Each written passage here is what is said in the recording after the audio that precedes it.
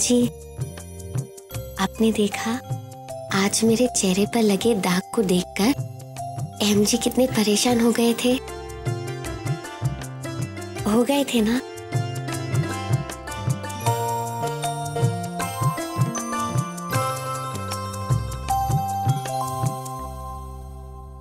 कान्हा जी, मैंने कहीं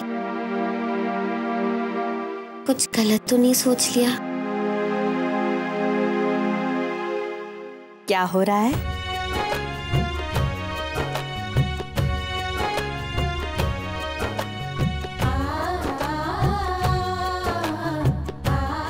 कान्हा जी से बातें हो रही हैं।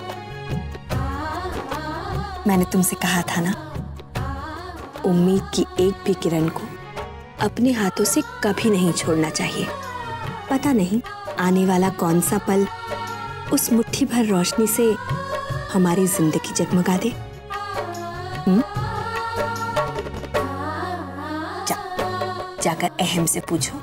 उसे किसी चीज़ की ज़रूरत तो नहीं? काकी जी वो तो ऑफ़िस चले गए। बस खाना खाने आए थे। ये सब तुम्हें अहम ने बताया?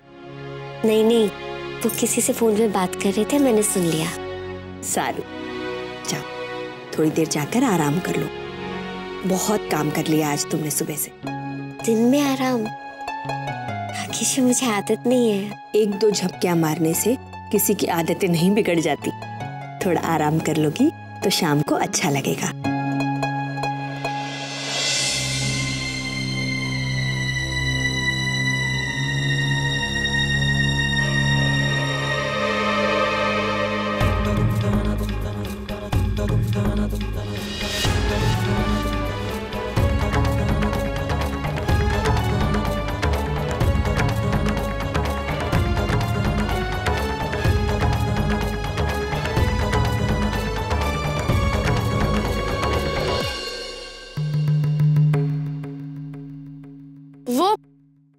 काकी जी क्या है ना?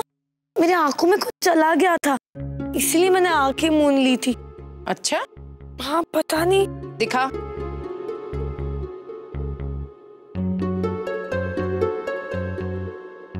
निकल गया? हाँ हाँ निकल गया। पकड़ो। और वापस काम पे लग जाओ। क्या है ना कि ये चावल रात के खाने में बनने हैं। इसलिए जल्दी जल्दी हाथ चलाना। समझ गई राशि?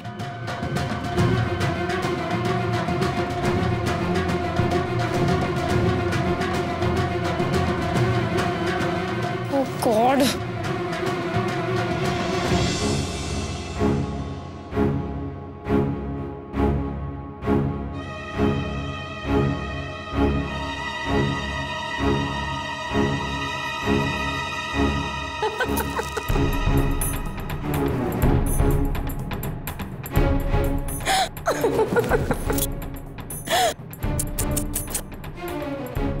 आंटी, जो हुआ बहुत बुरा हुआ।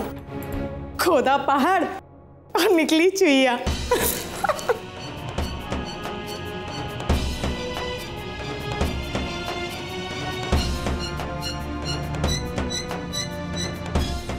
वो क्या है ना, आंटी?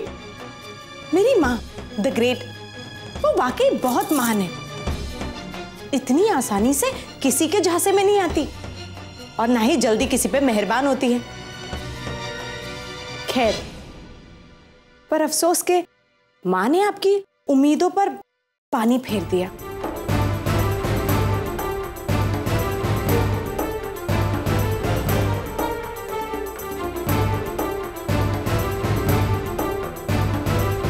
कोई बात नहीं दिख रहा। मैं तो जैसे तैसे करके चला ही लूँगी। पर खाना तो हर बार गरम करना ही पड़ता है। और ये मुसीबत तुम्हारे ही गले पड़ने वाली है। जवा दे। जो नहीं मिलना था, नहीं मिला। पर तू तो ये चूल्हा देखकर खुश हो जा। एक और चूल्हा मिल गया काम करने को।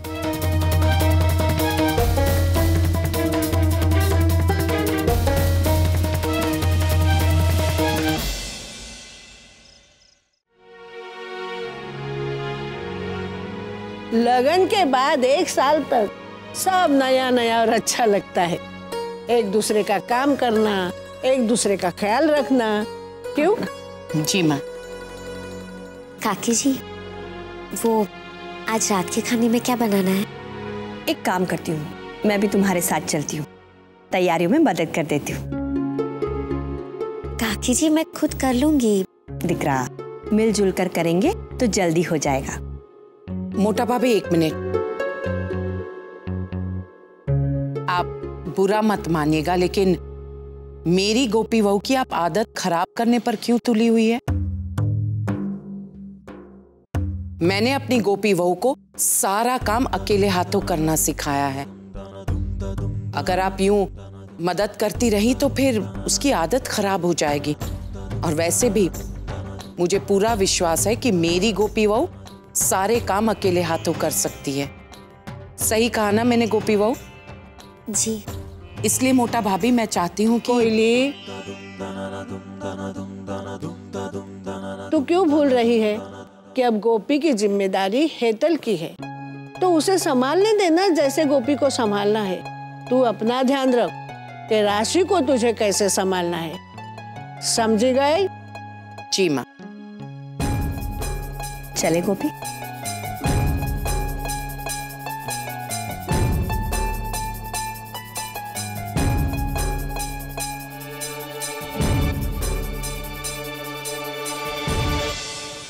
जिगर जी मैंने आपके लिए चाय रख दी। राशि तुम सारा दिन घर का काम करती हो सबका इतना ख्याल रखती हो लेकिन जब मैं शाम को घर पर वापस आता हूँ मुझे अपने हाथों से बनाई हुई चाय पिलाना नहीं भूलती। जी वो क्या है ना? आज मैं वाकई थोड़ी थक गई हूँ। थकावट की वजह से मेरी तो आँखें झुकी जा रही है। अगर आपको कोई एतराज़ नहीं है तो मैं दो मिनट आँखें मूंद लूँ। नहीं। बिल्कुल नहीं। जी? आओ बैठो। क्योंकि मैं तुम्हारे आँखों में आई ड्रॉप्स डाल देता हूँ। ताकि जब तुम आराम करो तो आँखों को बहुत सुकून मिलेगा। सो जाओ।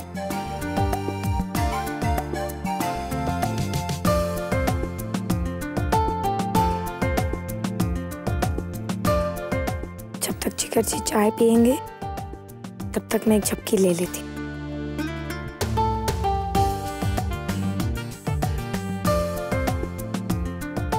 अब तुम आराम कर लो।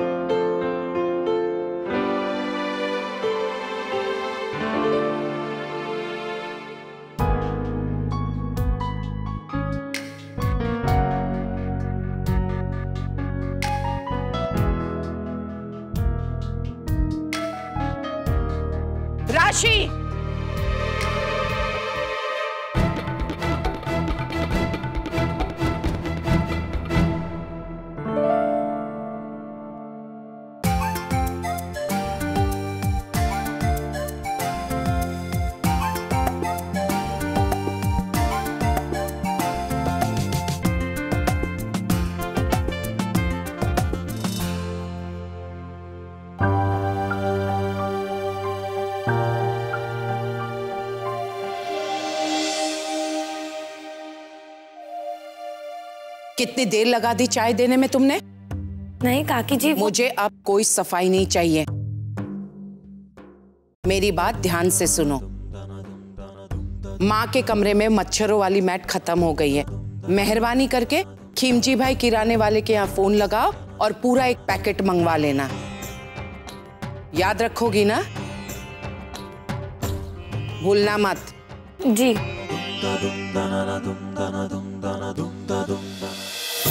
sad.